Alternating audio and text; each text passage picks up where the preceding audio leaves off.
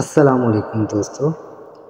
बादशाह हारून रशीद की दिली ख्वाहिश थी कि बेलोल दाना आपके दरबार में तशरीफ़ लाए। लेकिन बेलोल दाना कभी भी बादशाह के दरबार में ना आए। एक दिन बादशाह अपने महल की छत पर बैठा था। उसने बेलोल दाना को महल के करीब से गुज़रते हुए देखा। फ़ौर हुक्म दिया कि हज़रत बेलोल दाना को कमंद डालकर छत पर खींच लिया जाए। चुनाचे ऐसा ही किया गया।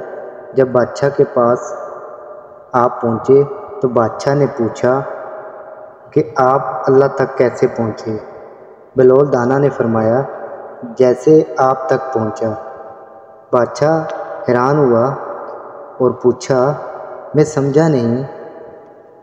बलोल दाना ने फरमाया, अगर मैं ख़ुद आप तक पहुँचना चाहता तो नहा धोकर अच्छा लिबास पहनकर दरबार की, दरबान की मिन्नतें मिन्नतें करता कि फिर महल में दाखिल होता।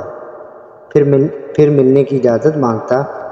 घंटों इंतज़ार करना पड़ता और फिर भी आप मेरी दरख्वास्त रद्द कर देते।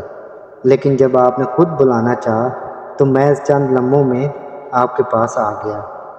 इसी तरह जब अल्लाह को अपने किसी बंदे की कोई अदा पसंद आती है तो उसे चंद लम्हों में कुर्ब की वो मंजिलें तय करवा दी जाती हैं, जो बड़े बड़े आबदों के लिए काबिल रश बन जाती हैं।